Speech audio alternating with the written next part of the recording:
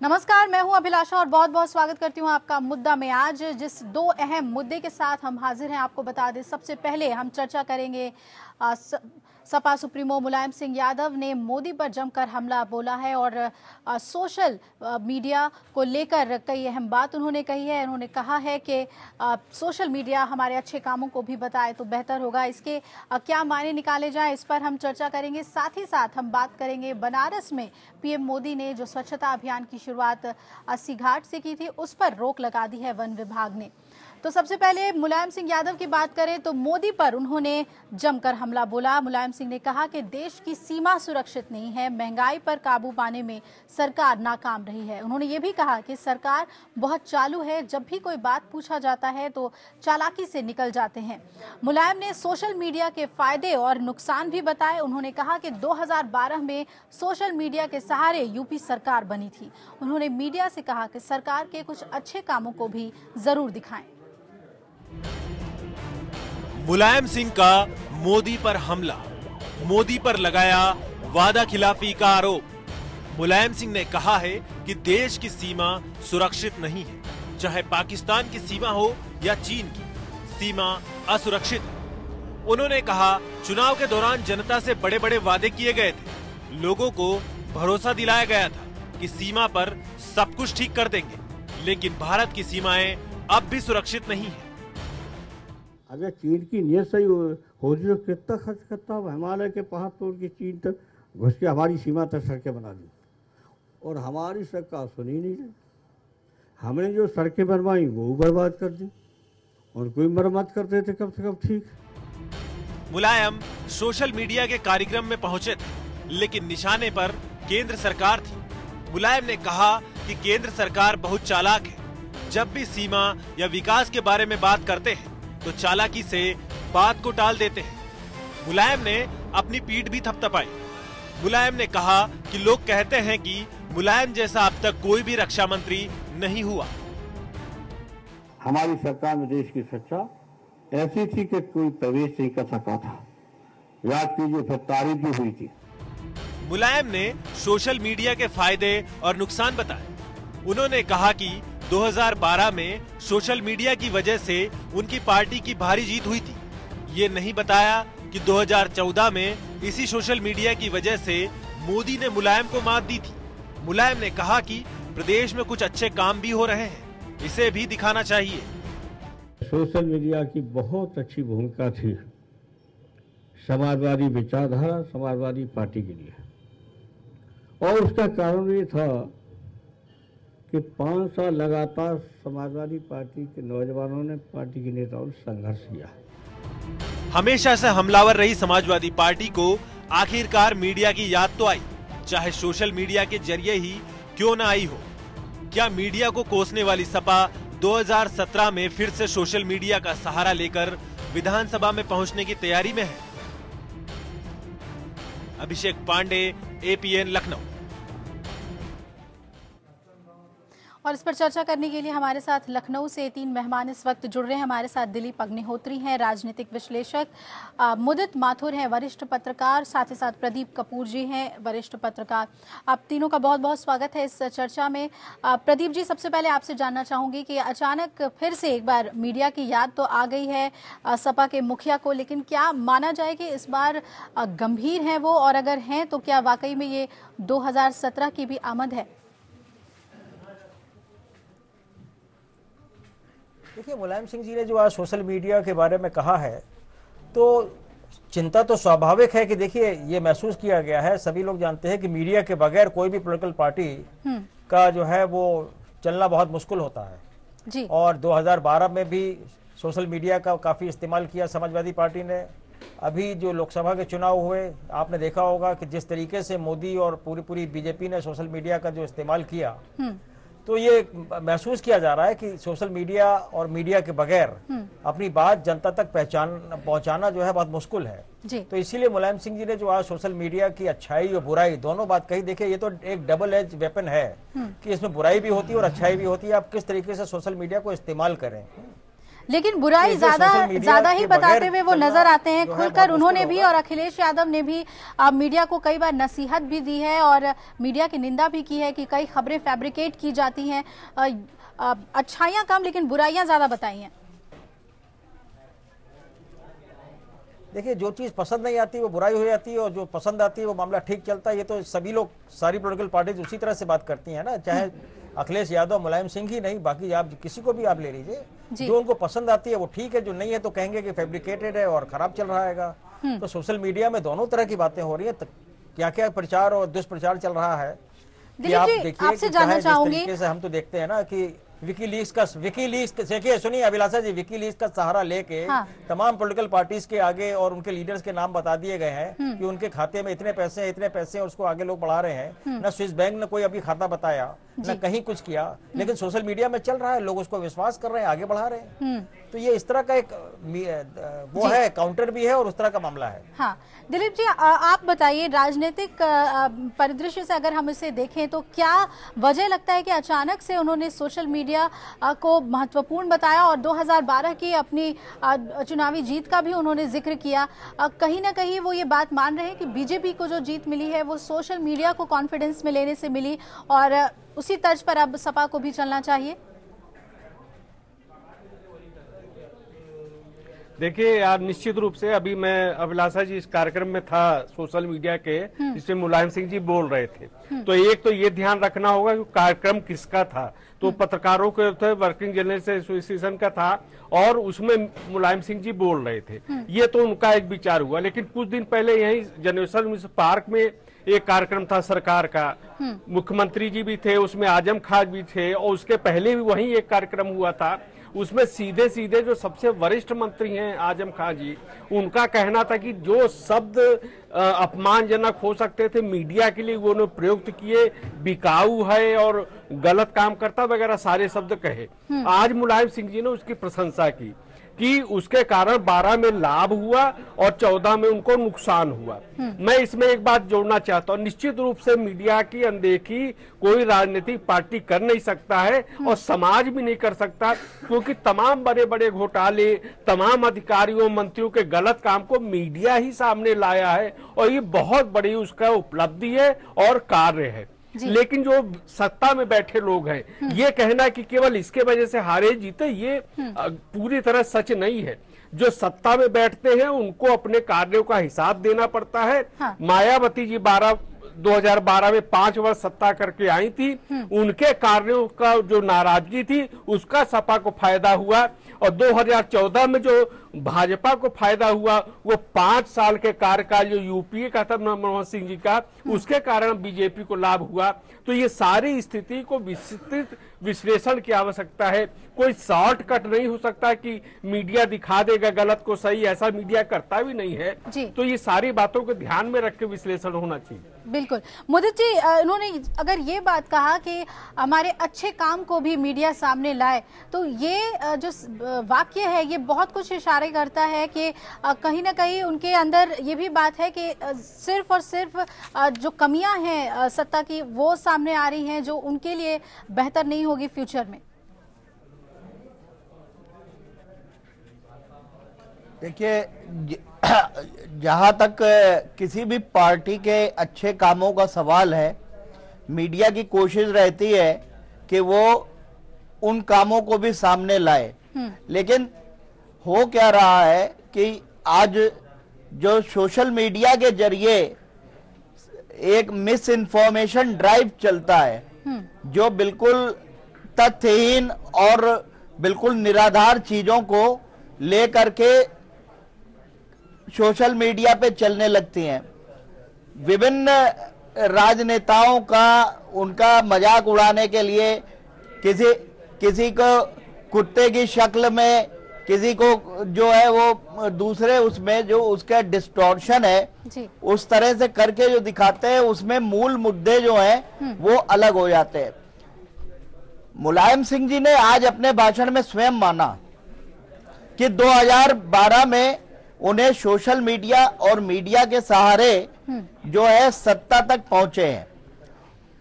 लेकिन अब पिछले दिनों ये देखा जा रहा है कि मीडिया को जो जिस प्रकार से ए, इस सरकार से उम्मीदें थी जी। वो वो किसी प्रकार की उम्मीदों पे ये सरकार खरी नहीं उतर रही है। हम्म। आप पत्रकारों की विभिन्न समस्याएँ हैं हम्म। उनके रोज़मर्रा के प्रॉब्लम्स हैं उन पर किसी तरह से कोई संवाद जो है वो मुख्यमंत्री और जो है मीडिया के बीच में नहीं हो पा रहा है। कई कई कई एकदम से जो है अ, अ, कानून को ताक पे रख के चार चार गुना मकान के किराए बढ़ा दिए गए हैं। यू यूपी भवन में पत्रकारों के और रहने के जो शुल्क था वो बढ़ा दिया गया है। जी। और इन सब चीज़ों पर जब समय समय पे ये बातें आई है कि भाई ये ये सब स- स- पत्रकारों की ये समस्याएँ हैं इनको दूर किया जाए तो सरकार की तरफ़ से कोई एक्शन नहीं हो रहा है। नया वेज बोर्ड आया है और नया नया वेज बोर्ड के हिसाब से हर पत्रकार को जो है वो जो भी अखबारों में काम करते हैं उनका न्यूनतम वेतन मिल रहा है या नहीं मिल रहा है ये इंश्योर कराना भी सरकार की ड्यूटी का पार्ट है। और मुझे ये कहते हुए बड़ा अफसोस हो रहा है। कि सुप्रीम कोर्ट के निर्णय के बावजूद भी आज उत्तर प्रदेश का बहुत सारे अखबार ऐसे हैं जो पत्रकारों को न्यूनतम वेतन तक नहीं दे रहे हैं जी, तो जी। ये जो पत्रकारों की समस्याएँ हैं वो भी वो भी एड्रेस होनी चाहिए और ये शिकायत जैसे मुलायम सिंह जी कर रहे हैं कि जो है 2014 में उनको पत्रकारों का वो सहयोग नहीं मिला जो 12 में मिला। जी। तो अगर आप इसका विश्लेषण करें तो आप ये पाएँगे कि जो जो अ, मीडिया है हम्म। आज उत्तर प्रदेश में मीडिया पर अच्छा खासा बजट है और करीब करीब 100 करोड़ रुपए जो है वो विज्ञापन और दूसरी चीज़ों में उत्तर प्रदेश सरकार खर्च कर रही है। लेकिन अगर उसकी योजनाएँ गाँवों तक नहीं पहुँच रही हैं तो उसके लिए इनको ये देखना पड़ेगा कि वो किस मीडिया में अपने विज्ञापन दे रहे हैं जो गाँवों तक वो बातें नहीं पहुँचा पा रहे हैं। जी। तो बहुत सारी चीज़ें हैं उसके लिए केवल मीडिया पे दोष को दोष देना उचित ना होगा बल्कि पूरा पूरा उनको अपने भी जो कार जो उनका योजनाएँ हैं और जो योजनाओं के लाभ जनता तक पहुँच रहे हैं या नहीं पहुँच रहे हैं उसके लिए उन्हें भी अपना इनबिल्ट मैकेनिज्म को स्ट्रॉन्ग करना होगा। जी। और उसमें मीडिया की भूमिका क्या हो सकती है ये आप जानते हैं जब आप ग्राउंड लेवल पे कोई काम करेंगे तो मीडिया उसकी उपेक्षा नहीं कर सकता। मीडिया आज जो है वो सोशल मीडिया इतना एक्टिव हो गया है कि आज मेन लाइन मीडिया किसी घोटाले को दबाना चाहे तो वो नहीं दबा सकता। जी। कोई ना कोई बात सोशल मीडिया पे आ जाती है। और जब वो सोशल मीडिया पे आ जाती है तो पब्लिक डोमेन में आने के बाद उसको कोई रोक नहीं सकता। चाहे वो छोटे से छोटा घोटाला हो चाहे बड़े से बड़ा घोटाला हो अगर अखबार नहीं भी छाप रहा है और सोशल मीडिया में आ गया तो बड़े बड़े अखबार उस घोटाले को दबा नहीं सकते।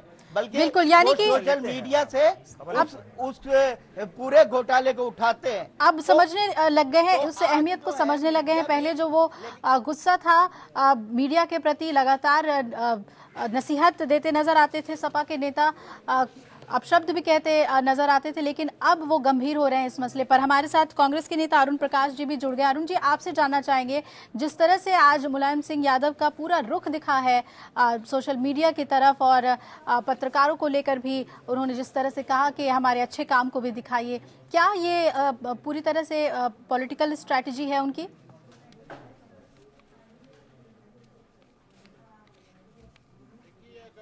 राजनीति में जो चौथा चौथा स्तंभ है पत्रकारिता जगत मीडिया निश्चित रूप से इसका सम्मान होना चाहिए क्योंकि समाज में हो रहे तमाम कुरीतियों को और अच्छे कामों को दोनों को ये लोग प्रदर्शित करते हैं। तो इसका निश्चित रूप से सम्मान होना चाहिए इनके मार्गदर्शन पे भी थोड़ा सा काम करना चाहिए। जी।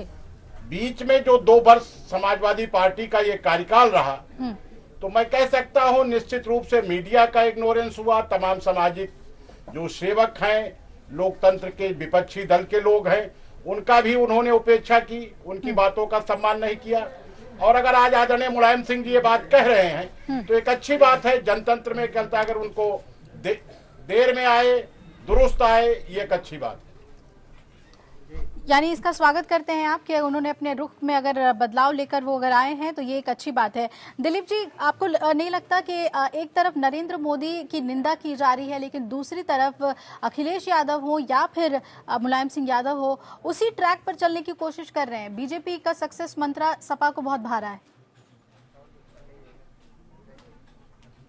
बिल्कुल, ये परिवर्तन देखा जा सकता है। जब से नरेंद्र मोदी जी की सरकार बनी है तब से जो अनेक केवल यूपी नहीं अनेक प्रदेशों में इस तरह का परिवर्तन दिख रहा है।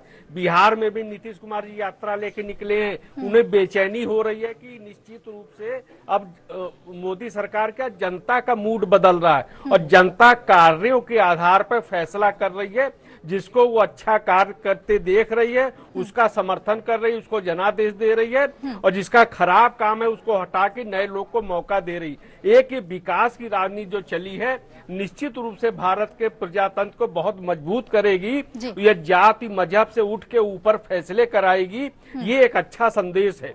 लेकिन जैसे अभी हम लोग चर्चा कर रहे हैं कि मीडिया क्या दिखा रहा है मीडिया सच्चाई दिखा रहा है वो अगर बिजली नहीं है तो मीडिया क्या चलाने लगे कि 24 घंटे बिजली मिल रही तो लोग उस पर विश्वास नहीं करेंगे तो बहुत सी बातें जो सत्ता में बैठे लोग हैं उनको समझना होगा कि उनके काम ज़मीन पे दिखने चाहिए और हम्म। काम दिखेंगे तो मीडिया उसको दिखाएगा निश्चित रूप से हम्म। अगर नहीं दिख रहे हैं प्रचार झूठा हो रहा है तो मीडिया उसको भी सामने लाएगा हम्म। और इस बात से उन सत्ता में बैठे लोगों की नाराज़गी भी हो सकती है और नुकसान भी हो सकता है। लेकिन मीडिया अपने इस दायित्व का निर्वाह बखूबी कर रहा है। इसमें संतोष की बात। जी। मोदी जी अगर आपको याद हो कि दिवाली मिलन पर पत्रकारों को बुलाया था नरेंद्र मोदी ने और उन्होंने कहा था कि जिस स्वच्छता अभियान की मैंने शुरुआत की आपने अपने कलम को झाड़ू बना लिया। और बहुत ही एक अलग ही तरह का वो पूरा आयोजन सामने निकल कर आया था। अब इस बार जब मौका मिला मुलायम सिंह यादव को तो वो मीडिया की सराहना करने लग गए और इस बार कोई भी कड़ी नसीहत उन्होंने मीडिया को नहीं दी। तो क्या आपको भी लगता है कि नरेंद्र मोदी ने जिस तरह से सोशल मीडिया का इस्तेमाल किया है कॉन्फिडेंस में लेकर चले हैं, वो चीज़ें अब अलग अलग राजनीतिक पार्टियों को भी समझ में आ गई है खासतौर पर सपा को? देखिए, मीडिया का इस्तेमाल होना मीडिया के ऊपर निर्भर करता है हम्म। कि वो इन राजनीतिज्ञों के स्वार्थों के लिए खुद को इस्तेमाल होने देना चाहता है या नहीं देना चाहता जी। दुर्भाग्य ये है हम्म। दुर्भाग्य की बात यह है कि आज मीडिया जो है वो अपने उद्देश्य से भटक गया है हम्म। और इस कारण जो है उसमें व्यावसायिक हित और कॉमर्शियल हित ज़्यादा प्रभावी रूप से सामने आने लगे हैं। इस कारण से कभी कभी वही मीडिया आपको मुलायम के साथ दिखता है कभी वही मीडिया आपको मोदी के साथ दिखता है। और मीडिया पर भी लांछन लगने लगते हैं कि हाँ मीडिया ये फलाना जो है ये फलाने कारपोरेट ग्रुप का है और वो फलाना कारपोरेट ग्रुप फलानी पार्टी को सपोर्ट कर रहा है। इसलिए इस मीडिया का झुकाव उस तरफ़ है हम्म। या फलाने मीडिया का झुकाव इस तरफ़ है। तो ये ये ये सामने सामने जब दिखने लगा है हम्म। तो मीडिया अपनी क्रेडिबिलिटी और निष्पक्षता खोता जा रहा है जो जो उसका मूल मूल उद्देश्य है हम्म। जी बिल्कुल बिल्कुल मुझे, मुझे लगता है कि प्रदीप जी आप भी मानते हैं ऐसा कि मीडिया ने क्रेडिबिलिटी अपनी खोई है दौड़ में प्रदीप जी लगता है आपको कि मीडिया ने क्रेडिबिलिटी कहीं ना कहीं खोई है और ये भी एक वजह है कि अलग अलग विभिन्न पार्टियाँ जो हैं समय समय पर अपने फ़ायदे के हिसाब से इस्तेमाल कर लेती हैं मीडिया का देखिए हमने देखा है कि जिस तरीके से मीडिया का जो कॉर्पोरेटाइजेशन हुआ है हम्म। और जिस तरीके से कॉर्पोरेट सेक्टर ने मीडिया को कंट्रोल किया है और कॉर्पोरेट सेक्टर को पॉलिटिकल पार्टीज़ और सरकारों ने कंट्रोल किया है हम्म। तो फिर मीडिया उतना फ्री नहीं रहा है तो मीडिया की जो इंडिपेंडेंस जो हम लोगों ने आज से 20 साल 25 साल पहले जो देखते थे हाँ। उसमें जो है काफ़ी आ, कमी आई है हम्म। लेकिन अगर हम कुछ खास मुद्दों को उठाएँ, जिस तरह से लॉ एंड ऑर्डर के मुद्दे को उठाया गया, महिलाओं के साथ हो रहे अपराध को उत्तर प्रदेश में मीडिया ने उठाया, आपको याद होगा कि एक पत्रकार को साफ़ कहा था अखिलेश यादव ने जब उसने बलात्कार पीड़िता को लेकर बदायूं मामले में जब सवाल पूछा था तो उन्होंने कहा था कि प्रदेश में औरतें सुरक्षित हैं, आप सुरक्षित हैं ना? ये बात उन्होंने कही थी। तो क्या ऐसे बयान देने के बाद, इस तरह से पेश आने के बाद चंद अच्छी बात मीडिया की इस तरह के समारोह में कर लेने से क्या उम्मीद की जा सकती है कि मीडिया इन बातों को भूल जाएगा या अपनी ज़िम्मेदारी में कहीं भी कॉम्प्रोमाइज करेगा? नहीं हम लोगों को ये तो महसूस सोचना ही चाहिए कि भाई कभी भी किसी भी पॉलिटिशियन में एक बदलाव आ सकता है और अच्छे दिशा में सोच सकता है और एक पॉजिटिव दिशा में सोच सकता है तो ये सब तो हम लोगों को उम्मीद करनी चाहिए ना। किसी भी पॉलिटिकल पार्टी का या किसी भी सरकार के लोग हों। और जब भी कभी कोई अच्छी अगर बात कर रहे हैं तो कम से कम उसको स्वागत भी करना चाहिए। जी, प्रदीप जी, आपकी पार्टी की तरफ़ से भी हमेशा एक आरोप लगाए गए हैं। अरुण प्रकाश जी आपसे मैं जानना चाहूँगी, कांग्रेस ने हमेशा आरोप लगाया है बीजेपी पर कि मीडिया हाइप ज़्यादा से ज़्यादा लेने की कोशिश की है। क्या आपको भी लगता है कि मीडिया को अगर आप कॉन्फिडेंस में लेते हैं तो बड़ा माइलेज आपको मिलता है और बीजेपी को जो ताकत मिली या जो जीत मिली है, उसका श्रेय मीडिया को है?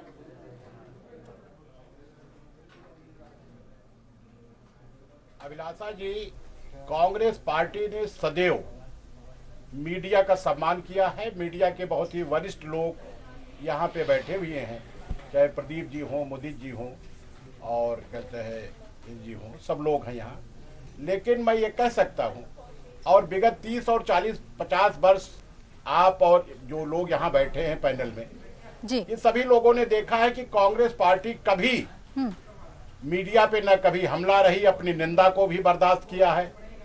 और हमेशा जैसे गोस्वामी तुलसीदास जी ने कहा कि निंदक नेरे राखिए आँगन कुटी छवाए जी। तो उनसे प्रेरित होकर के उसी प्रेरणा के अनुसार देश के विकास में मीडिया को हमेशा कांग्रेस ने जोड़े रखा।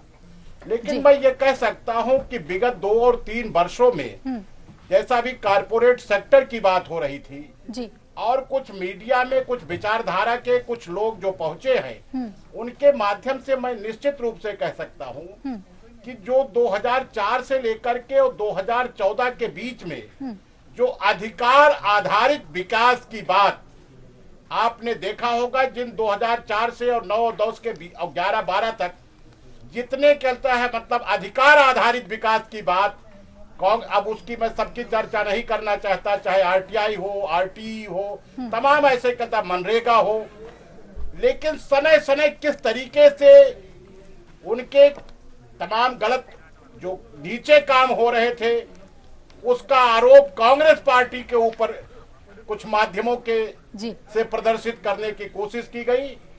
और गुजरात के विकास को जिस तरीके से मीडिया ने प्रदर्शित किया जी। और ऐसा लगा कि निश्चित रूप से गुजरात एक बहुत ही विकसित बहुत ही कहता है एकदम न्यूयॉर्क है वॉशिंगटन है गुजरात। और जब आप अभिलाषा जी गुजरात जाती होंगी देखती होंगी मुदित भाई हैं ये भी रमेश कपूर साहब हैं ये भी सब लोग कहता है ऐसा नहीं कि गुजरात से वाकिफ नहीं है पत्रकार उनकी सच्चाइयों से। जी। 2011 में प्रभात केलकर जो भारतीय किसान संघ के महामंत्री हैं भारतीय जनता पार्टी की यूनिट है। आदरणीय नरेंद्र मोदी गुजरात के मुख्यमंत्री थे और ये मैं सत्य बात कह रहा हूँ लिखत पढ़त की बात कह रहा हूँ। सत्तावन तालुकों में बिजली का कनेक्शन किसानों के पास नहीं था और उस गुजरात के विकास की चर्चा ऐसे पूरे देश में की गई। सत्तावन तहसीलों में किसानों के पास बिजली का कनेक्शन न हो और वहाँ का विकास ऐसा प्रदर्शित किया गया। कि जापान के संघाई के जैसे चाइना के संघाई का विकास हो गया। है इस तरीके से तोड़ा और मरोड़ा गया और जो अधिकार आधारित विकास था जी। उसकी निंदा की गई। चलिए तो तीनों ही पत्रकार हैं हमारे साथ दिलीप जी हैं मुदित जी तो हैं साथ ही प्रदीप जी भी हैं। आप तीनों से ही इस सवाल का जवाब चाहूँगी कि मुझे लगता है इस चर्चा में समाजवादी पार्टी से भी कोई नेता होता तो और सही तरह से हम इसे दिशा दे पाते। लेकिन फिर भी दिलीप जी आपसे जानना चाहूँगी कि ये जो आरोप लगते आए हैं लगातार कि तथ्यों के साथ छेड़छाड़ की जाती है और बढ़ा चढ़ाकर पॉजिटिविटी दिखाई जाती है मीडिया के खबरों में क्या वाकई में इस तरह से जाने अनचाहे इस तरह की रिपोर्टिंग करता रहा है मीडिया हमारे दोनों साथी पत्रकार बंधु बहुत वरिष्ठ हैं लखनऊ के पत्रकार हैं। बहुत अनुभव देखा इन्होंने वो भी देखा जब संपादक महत्वपूर्ण होता था विज्ञापन व्यवस्थापक उसके नीचे होता था आज बदली हुई परिस्थिति ये भी देखी। मैं इनसे सहमत हूँ कि निश्चित रूप से कॉरपोरेट जगत का प्रभाव बढ़ा है दबाव बढ़ा है। लेकिन मैं इस बात से भी सहमत नहीं हूँ इनकी कि मीडिया उस दबाव में आके उसने कुछ गलत दिखाया है। अभी मेरे भाई कांग्रेस के मित्र कह रहे थे कि गुजरात को कभी संघाई टोक्यो मीडिया ने नहीं बताया है। हाँ। उसने बस ये कहा कि वहाँ की सरकार की नीयत ठीक है विकास के प्रति विकास की दिशा में बढ़ रही है। एक बात और दूसरी बात कितने मुख्यमंत्री या सरकार हैं जिनको लगातार जिनको लगातार तीन बार लगातार तीन बार जनता का समर्थन मिला हो ये कितने लोग हैं? तो ये प्रजातंत्र है। प्रजातंत्र में आकलन ये होना चाहिए कि जनता को किसने समर्थन दिया जनता उनसे खुश है कि नहीं है? एक एक मामला ये। प्लीज़। यूनिट है? उसके राष्ट्रीय महासचिव का जी। आंदोलन है? प्रदीप जी आप बताएँ आपको क्या लगता है? ये नहीं कहा कि राम राज्य आ गया है लेकिन कुछ प्रगति हुई ये बात थी। नहीं देखिए हमने तो इस लोकसभा के चुनाव वो में क्या खाली पूरे देश में गुजरात में ही प्रकट हुआ था उन दो जी। सालों में? और पूरे देश में? पूरा पूरा देखिए मीडिया को जिस तरीके से अरुण जी आपने जो आरोप लगाया हो उसका जवाब समझने दीजिए तीनों ही पत्रकार हैं हमारे साथ पैनल में। हम समझना चाहेंगे उनके नजरियों को समझना बेहद ज़रूरी है। जी। प्रदीप जी बताएँ। देखिए मैं ये कह रहा हूँ कि जिस तरीके से कॉर्पोरेट का जब कॉर्पोरेट का जब टेक ओवर हुआ और कॉर्पोरेट ने जिस तरीके से सपोर्ट करने का फैसला कर लिया कि मुझे किस पॉलिटिकल पार्टी को और किस नेता को सपोर्ट करना है तो उसके सपोर्ट में उस तरह की तमाम तरह की न्यूज़ जो है वो आती रही है। खास बात गुजरात मॉडल की रही है तो भाई देखिए क्रेडिट जाता है कि मोदी जी को कि उन्होंने गुजरात मॉडल को जो है एक आम आदमी तक उसको पहुँचाने में सक्सेसफुल हुए कि लोगों को लगा कि भाई ठीक है अगर देश का विकास है गुजरात मॉडल पे होगा उससे अग्री करें या ना करें। लेकिन कॉर्पोरेट मीडिया के ज़रिए और भाजपा के नेताओं के द्वारा ये वो सक्सेसफुल हुए कि एक गुजरात मॉडल को आम आदमी तक पहुँचा पाए। जी। लेकिन कैसा क्या था कैसा नहीं था उसमें क्या लेकिन क्या हम आंकड़ों तो में विकास को आंक सकते हैं? अगर जिस तरह से विकास नहीं हुआ दिलीप जी ने कहा कि नियत को बताया मीडिया ने कि हाँ नियत विकास की है और शायद वही बात बीजेपी ने रखने की कोशिश किया। ऐसे में मीडिया को घेरना कि मीडिया ने बढ़ा चढ़ाकर गुजरात मॉडल पेश किया ये ये अंतर मैं समझना चाह रही हूँ। बताइए। ऐसा है देखिए गुजरात मॉडल सक्सेसफुल है या सक्सेसफुल नहीं है ये ये इशू आज भी देश में डिबेटेबल है। जी। और इस पर आज भी देश के अंदर कई प्रकार के मत हैं। हम्म। और मैं आपको छोटा सा उदाहरण देना चाहता हूँ। हम्म। कि मुंबई के सेंट जीवियर्स के प्रिंसिपल ने एक चिट्ठी अपने स्टूडेंट्स को लिखी और उसमें उन्होंने जो गुजरात मॉडल के बारे में वो समझते थे हाँ। उसको रेखांकित किया कि गुजरात मॉडल जो है वो एक सक्सेसफुल मॉडल नहीं है। हम्म। लेकिन लेकिन अब आप मीडिया का रोल देखिए। मीडिया ने जो सेंट जेवियर्स के प्रिंसिपल के लेटर में उठाए गए मुद्दे थे। हाँ। उनको उन पर तो कोई राष्ट्रीय बहस की नहीं। हम्म। और राष्ट्रीय बहस इस बात पे बड़े बड़े टीवी में बड़े बड़े चैनल्स में बड़े बड़े पैनल्स में इस बात पे हुए कि क्या प्रिंसिपल को इस तरह का एक लेटर लिखने का हक था या नहीं था। जी। तो मेरा मेरा कहने का मतलब ये है कि जो लोग ये समझते हैं कि जो राजनीतिक पार्टी ये समझती है कि मीडिया के भरोसे वो सत्ता में आ जाएँगे वो भी गलत उनकी सोच है और जो मीडिया ये सोचता है कि वो किसी राजनीतिक पार्टी को सत्ता तक पहुँचा देगा जी। तो मेरे ख्याल से ये भी गलत सोच है। हम्म।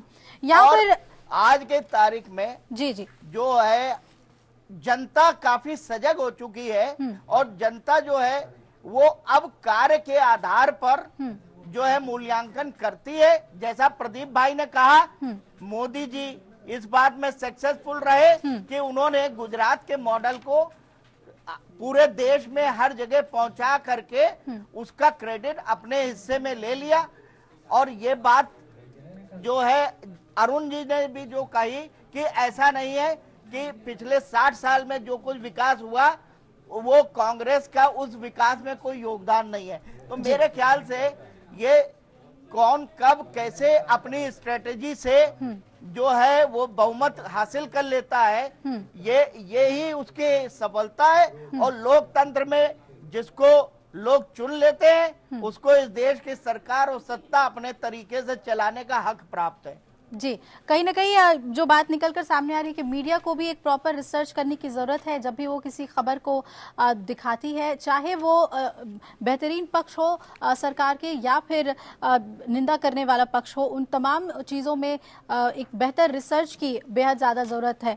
दिलीप जी, आपसे ये जानना चाहूँगी, जब समाजवादी पार्टी को, जो कि सत्ता में है, हमेशा से अगर लॉ एंड ऑर्डर के मुद्दे पर घेरा गया, या फिर बिजली की समस्या हो या वहाँ पर महिलाओं के साथ होने वाले अपराध के मामले हो, इन मुद्दों पर हमेशा ही उन्होंने ये कहा कि मीडिया बढ़ा चढ़ाकर इस तरह की खबरें दिखाती है। तो क्या एक पॉजिटिव जो स्वरूप तैयार होता है, उसमें भी मीडिया का हाथ है? और अगर कमियाँ बताई जा रही हैं तो वो भी उसमें भी मीडिया का ही हाथ है?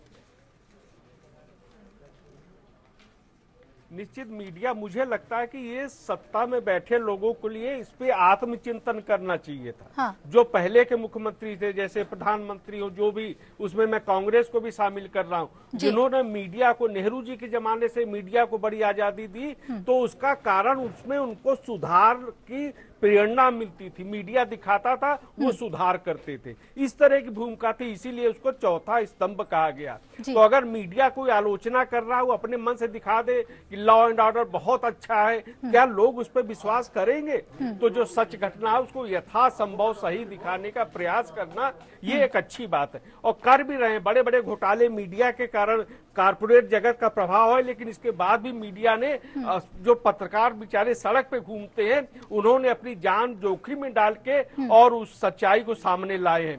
2009 में यूपीए की सरकार जब बनी थी तो दो मंत्री के प्रतिदिन एक लाख रुपया खर्च करके और फाइव स्टार होटल में रह रहे थे। ये भी हमारे साधारण से दिखने वाले पत्रकार बंधुओं ने ये बात सामने लाई और फिर उनको छोड़ना पड़ा। ये मीडिया का सम्मान है। तो अगर आलोचना से आत्मचिंतन करे तो निश्चित रूप से वो सरकार दोबारा सत्ता में आने की सोच सकती है। ये मीडिया का मैं महत्व साबित करना चाहता हूँ। और जिन सरकारों ने नियंत्रण किया है मीडिया पे रोकने का प्रभाव किया है और ये कहा कि मीडिया गलत दिखा रहा बढ़ा चढ़ा के दिखा रहा निश्चित रूप से उसको अगले चुनाव में जनता की नाराज़गी झेलनी पड़ी है। इस फ़र्क को समझना पड़ेगा। जी। प्रदीप जी जी। मैं ये देख रहा हूँ कि हाँ। पॉलिटिशियंस में टॉलरेंस की बहुत कमी हो गई है। पैंतीस साल से मेरे को पत्रकारिता करते हो गया और 79 से मैं पत्रकारिता कर रहा हूँ। तो मैं ये महसूस करता हूँ कि जो पहले हम लोग खबरें लिखा करते थे या दिखाई जाती थी तो पॉलिटिशियन जो है उसका बहुत ज़्यादा बुरा नहीं मानते थे। बल्कि मज़ाक भी करते थे और अपने आपस में संबंध भी खराब नहीं होते थे। जी, जी। अब हम लोग ये देखते जा रहे हैं कि अगर आपने कोई खबर खिलाफ लिख दी या खबर दिखा दी तो टॉलरेंस जो है ज़ीरो टॉलरेंस हो गई है। उसको जो है बिल्कुल एक व्यक्तिगत रूप पे एक हमला लिया जाता है। और उसके ऊपर फिर उस दबाने की कोशिश की जाती है। पहले ऐसा नहीं था। मैं किसी एक पोलिटिकल पार्टी या किसी एक अ, सरकार के बारे में बात नहीं कर रहा हूँ। मैं तो एक ट्रेंड की बात कर रहा हूँ कि ट्रेंड जो है पिछले बीस हाँ। साल में पंद्रह बीस साल में बहुत चेंज हुआ है हम लोगों के देखते देखते। जी जी। यानी कि वो अब हेल्दी माहौल नहीं रहा। था उसको हाँ। एक पॉजिटिव वे में लिया जाता था। अब क्रिटिसिज्म को पॉजिटिव माहौल में नहीं तो लेते जैसा दिलीप जी ने भी कहा बिल्कुल मतलब व्यक्तिगत तौर पे ले लेते हैं। प्रदीप जी आपको लगता हाँ, है कि उसको 2017 ज़ीरो के चुनाव को देखते हुए अचानक अपने आप को संभाला है मुलायम सिंह यादव ने और ये एक मौका था उनके लिए जो पूरी तरह से मीडिया को अपने सपोर्ट में लाने की उन्होंने कोशिश की। अगर उन्होंने देखिए मुलायम सिंह जी जो है बहुत ही सीजनड और बहुत ही सीनियर पॉलिटिशियंस है और संघर्ष करके उस मुकाम पे पहुँचे हैं जहाँ वो आज हैं। तो वो मीडिया की भूमिका को बहुत अच्छी तरह समझ रहे हैं और उन्होंने अगर 2017 के चुनाव को देख के और खासतौर से ये जो अभी लोकसभा का चुनाव हुआ है जिस तरीके से उसमें मीडिया का रोल रहा है उसको देखते हुए अगर उन्होंने मीडिया के लिए एक जिम्मेदार तरीके से बात किया है एक पॉजिटिव बात की है तो ये बहुत ही अच्छी बात है क्योंकि दो हज़ार का चुनाव जो है बहुत ही क्रूशल होने जा रहा है क्योंकि जिस तरीके से यहाँ पर एक रिसर्जेंट बीजेपी दिखाई दे रही है तो उनको भी एक खतरा नज़र आ रहा है कि भाई बीजेपी से ही हमें मुकाबला करना होगा। बिल्कुल। तो अपनी स्ट्रैटेजी पर चल रहे हैं मुलायम सिंह यादव और जैसा कि प्रदीप जी ने कहा कि बीजेपी से सीधी टक्कर मानते हैं और बीजेपी मीडिया का सपोर्ट लेना जानती है और इस बात को समझते हुए उन्होंने सोशल मीडिया को अपने फेवर में लाने की कोशिश की एक कार्यक्रम के दौरान। यहाँ पर हम छोटे से ब्रेक के लिए रुक रहे हैं। ब्रेक के उस पार हम चर्चा करेंगे बिजली की समस्या को लेकर। किसान किस तरह से परेशान हैं बिजली की समस्या से, उस पर हम चर्चा करेंगे।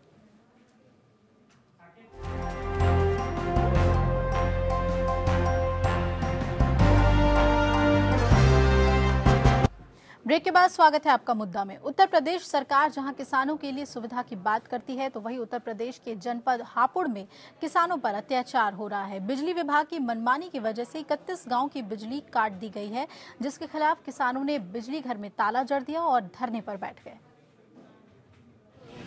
यूपी में बिजली को लेकर हाहाकार जारी है। बिजली विभाग की मनमानी लगातार जारी है। विभाग के विरोध में हापुड़ में किसानों ने जमकर बवाल काटा। दरअसल मामला दो दिन पहले का है। बिजली विभाग ने एक साथ 31 गाँवों की बिजली काट दी, जिसकी वजह से 31 गाँवों में अंधेरा हो गया और हाहाकार मच गया। इसी को लेकर कांग्रेसियों ने किसानों के साथ मिलकर बिजली दफ्तर पर हल्ला बोल दिया और आक्रोश जताते हुए बिजली घर में ताला जड़ दिया। किसानों के मुताबिक बिजली किल्लत की वजह से उन्हें खासी दिक्कतों का सामना करना पड़ रहा है। के करंट काट दिए गए। पानी की समस्या है। उनतीस गाँव उनतीस गाँवों की। और बहुत ज़्यादा परेशानी है। चारा सूख रहा है सब। पले हुए हो रहे हैं पले हुए सूख गया दम रह रहे हैं सबके। बहुत दिक्कतें आ रही हैं। लगने हैं आलू की फ़सल लेट हो रही है सब कुछ हो रहा है। इस दौरान किसानों के साथ स्थानीय विधायक भी मौजूद रहे। विधायक के मुताबिक जब तक किसानों की बात नहीं मानी जाएगी तब तक इनका विरोध यूँ ही जारी रहेगा। अपने दूध भी बेच बात करके पैसा जम, जमा भी कर दिया। उनका वो नहीं हो रही तो अब उनकी सारी स्थिति गड़बड़ा रही है। जब उनका कनेक्शन ही काटे कहाँ से सिंचाई करेंगे कहाँ से घर में गाँव में अंधेरा है उन्हें बहाल नहीं करेंगे तब तक नहीं होगी। बहरहाल किसान अब जिद पर अड़े हैं। जब तक बिजली नहीं तब तक जारी रहेगा उनका विरोध। ऐसे में अब ये देखना होगा कि बिजली विभाग के अधिकारी किसानों की मांगों को कब तक मानते हैं। अनिल कबीरा एपीएन हापुड़। चलिए लखनऊ का रुख कर लेते हैं। तमाम मेहमान हमारे साथ जुड़े हुए हैं। अरुण जी, जो उत्तर प्रदेश की स्थिति है, बिजली की समस्या को लेकर, और अब तो हद ही हो गई कि कनेक्शन भी काट दिए जा रहे हैं। क्या लगता है आपको, क्या वजह है जो उत्तर प्रदेश सरकार की जो नीयत है, वो नहीं समझ में आ रही कि बिजली की समस्या को लेकर वो गंभीर है भी या नहीं?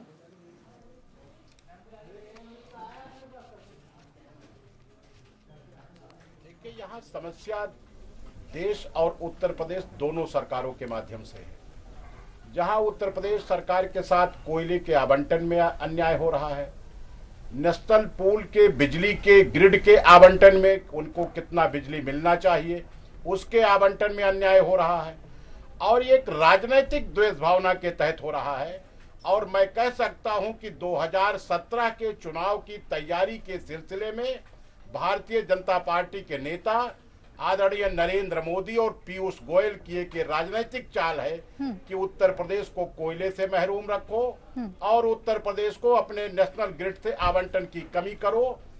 ये एक चाल है। जी। लेकिन वही उत्तर प्रदेश सरकार की प्रशासनिक कमियाँ हैं। उत्तर प्रदेश सरकार को ये सोचना चाहिए कि अगर उत्तर प्रदेश में किसी पूंजीपति या किसी इंडस्ट्रियलिस्ट की बिजली नहीं काटी जा रही है उसके कल और कारखाने में लाखों रुपए और करोड़ों रुपए उसके बिजली के बिल बकाए हैं और उनको उनकी बिजली नहीं काटी जा रही है तो निश्चित रूप से प्रदेश के किसानों की भी बिजली नहीं काटनी चाहिए लेकिन ये उनकी प्रशासनिक अक्षमता है। उनको निश्चित रूप से कहता है कोयला आज के डेट में कोयला विदेशों से भी उत्तर प्रदेश सरकार मंगा सकती थी नेशनल ग्रिड में वो दूसरे स्टेट से चलते अपने पावर को जोड़ सकते थे चाहे वो हिमाचल हो पहले हिमाचल भी कहता है बसपा के राज्य में उत्तर प्रदेश को काफ़ी बिजली देता था तो बिजली खरीद सकते थे और उत्तर प्रदेश में जितनी मांग है जनमानस की। उसकी पूरी पूर्ति कर सकते थे जी लेकिन मैं कह सकता हूँ हाँ। कि दोनों सरकारों की चाहे वो कहता अखिलेश जी की हो हम्म। मोदी जी की हो दोनों की एक की बेमानी और एक की अक्षमता से उत्तर प्रदेश के किसान उत्तर प्रदेश के नौजवान हम्म। छात्र और विद्यार्थी परेशान हैं जी, बिल्कुल। दिलीप जी, अभी यहाँ सपा और बीजेपी के नेता नहीं है, वरना जिस तरह से इन दोनों को ही जिम्मेदार ठहराया है, अरुण जी ने, अगर अभी बीजेपी होती तो वो कहती कि राज्य सरकार की कमियाँ हैं, राज्य सरकार और सपा के कोई नेता होते तो वो कहते कि केंद्र से हमें वो सपोर्ट नहीं मिल रहा, जिसकी वजह से हम बिजली आपूर्ति नहीं कर पा रहे हैं। मैं ये समझना चाह रही हूँ, क्या वाकई में बिजली की समस्या जितनी बड़ी नज़र आ रही है सूबे में, वो है या फिर उसे सॉर्ट आउट किया जा सकता है, लेकिन उसके पीछे राजनीति का खेल चल रहा है।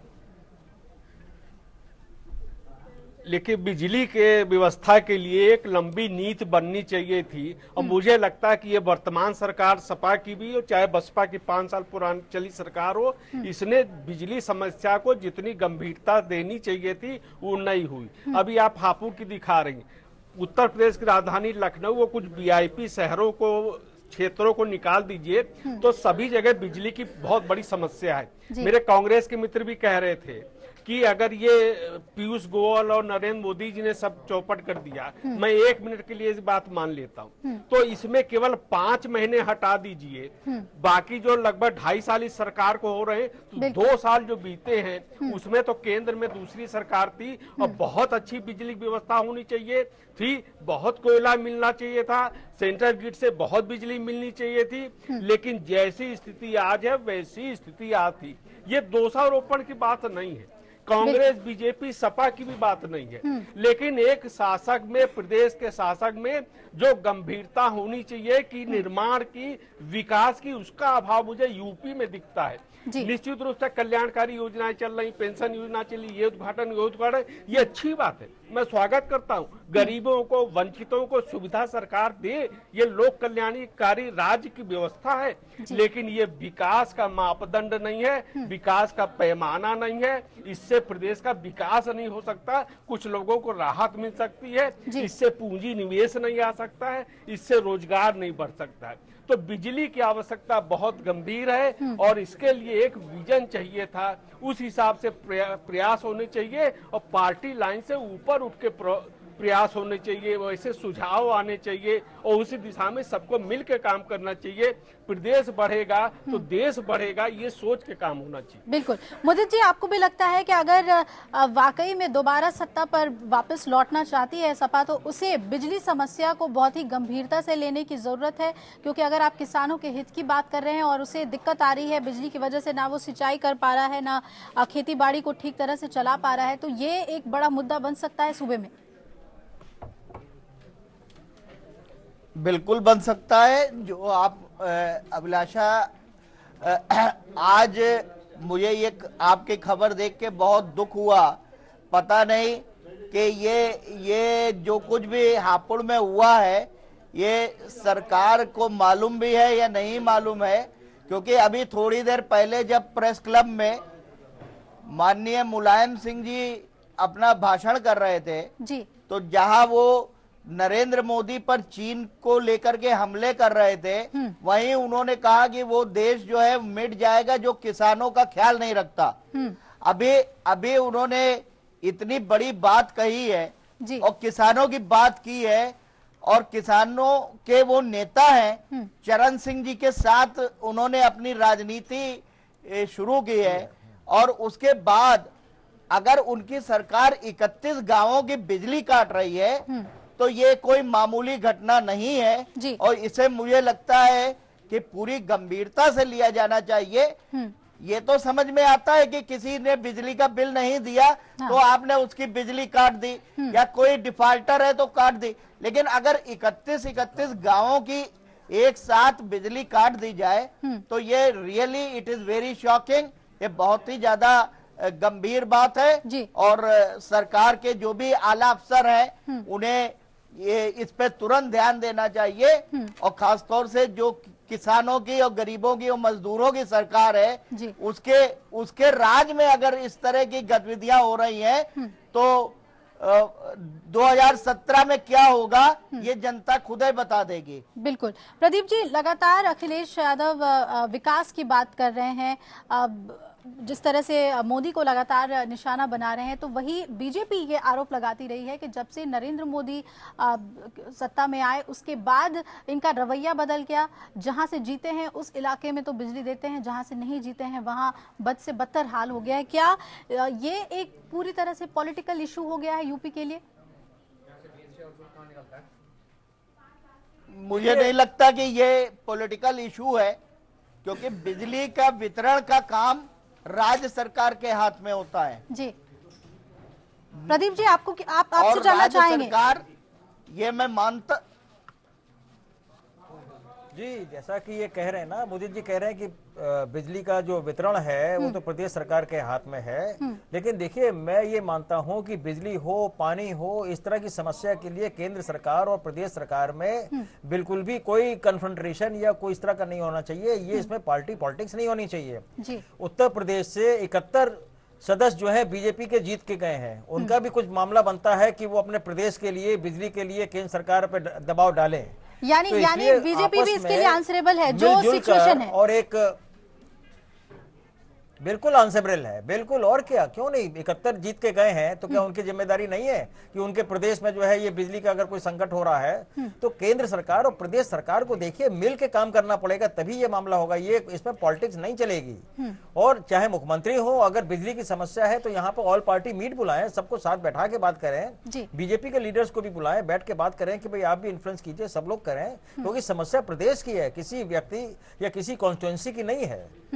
जब बिल्कुल। जब इसका फ़ायदा होगा तो सबको फ़ायदा होगा। जी अरुण कम प्रकाश जी ये ऐसे इशू है जिसमें पार्टी पॉलिटिक्स से ऊपर उठ के काम करना चाहिए। हाँ अरुण प्रकाश जी आपने बताया था इसमें तरीके भी आपने बताए थे कि कैसे इसे सॉर्ट आउट किया जा सकता है लेकिन जब किसानों के ऊपर इतनी बड़ी मार पड़ रही है कि वो सही तरह से सिंचाई नहीं कर सकता खेती का कोई काम नहीं कर सकता और घर में तो अंधेरा है ही किसानों के मुद्दे को जहाँ सपा लगातार लेकर विकास की बात कर रही है वही दूसरी तरफ़ पूरी तरह से अनदेखी देखने को मिल रही है। आपकी पार्टी किस तरह से इस मुद्दे को अ, लेती है उत्तर प्रदेश में इसे लेकर आप लोग कितने गंभीर हैं?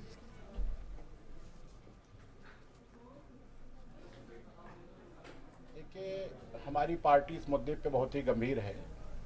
और मैं बात यहाँ से शुरू करना चाहता हूँ कि आदरणीय दिलीप जी बहुत वरिष्ठ पत्रकार हैं। मैं उनका सम्मान करता हूँ।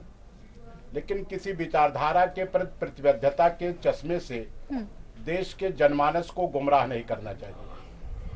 इसीलिए पत्रकारिता जगत में निष्पक्षता और पक्षपात का सवाल खड़ा होता है।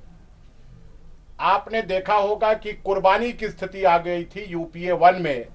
एटॉमिक एनर्जी से बिजली बनाने की ही बात थी आइटम बनाने बम बनाने की बात नहीं थी।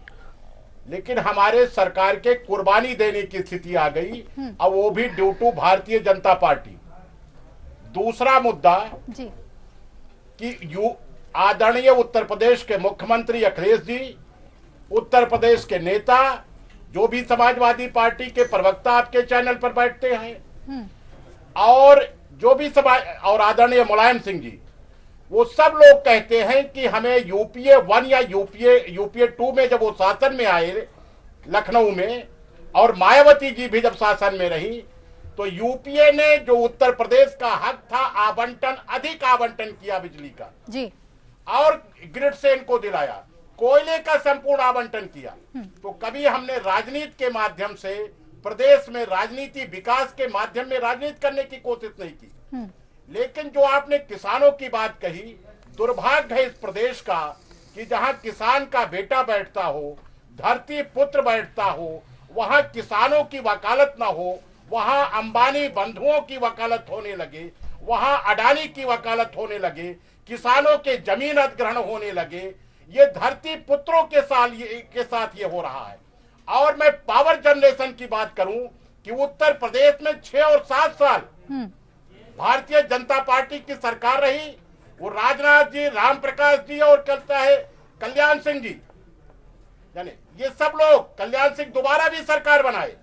तो ये कह सकता हूँ उन सात सालों में एक भी पावर जनरेशन की अगर यूनिट लगाने का काम और दिल्ली में अटल जी की सरकार थी आप सोचिए अभिलाषा जी उत्तर प्रदेश के साथ किस तरीके से राजनीतिक और सामाजिक और उत्तर प्रदेश का शोषण किया जा रहा है ये आप देखिए और किस तरीके से देश की जनता को गुमराह किया जा रहा है कि कांग्रेस ने सड़सठ साल में किया क्या किया साठ साल में किए क्या किया ये लोग जो दस साल पंद्रह साल जब विकास को एक ढर्रे पे बैलगाड़ी को एक रास्ते पे ले जाती है कांग्रेस और वहीं पे डिरेलमेंट करा दिया जाता है तो विकास का रास्ता निश्चित रूप से भटक दिलीप जी आपको है। लगता है कि डिरेल हुआ कांग्रेस जिस जिस तर्ज पे काम कर रही थी उसके बाद और पार्टियों ने उस तरह से काम नहीं किया।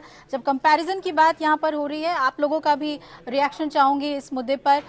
कांग्रेस बनाम अलग अलग पार्टियाँ क्या कहेंगे आप?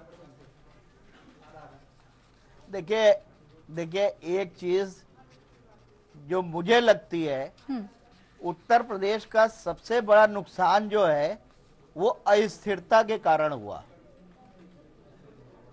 समय समय पे जो गैर कांग्रेसी सरकारें रहीं वो विभिन्न पार्टियों के गठजोड़ों से चलती रहीं और आए दिन सत्ता संघर्ष रहा कि यहाँ कैसे सरकार बचाई जाए पूरी एनर्जी जो है सरकार चलाने और सरकार बचाने में लगी रही जिसके कारण जो बिजली के विकास की योजनाएँ थी नए पावर स्टेशन लगाने की योजनाएँ थी जो यूपी की बढ़ती हुई जनसंख्या को और यूपी में बढ़ती हुई बिजली की मांग को देखते हुए जो।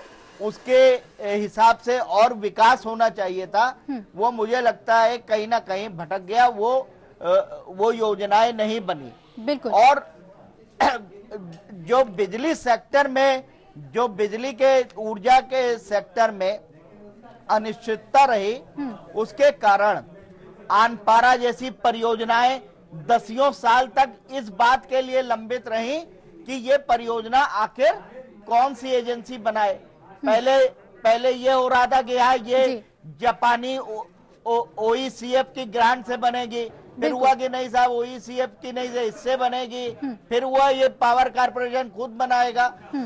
कुल मिला के बिल्कुल। एक नीतिगत स्पष्टता न रहने के कारण प्रदीप जी आपको भी लगता है ये राज्य और केंद्र सरकार के बीच के खींचतान की वजह से यूपी की स्थिति पीछे अच्छे लंबे वक्त से ही इस तरह की बनती चली आई जिसकी वजह से आज ये समस्या इतनी बड़ी होकर सामने नज़र आ रही है।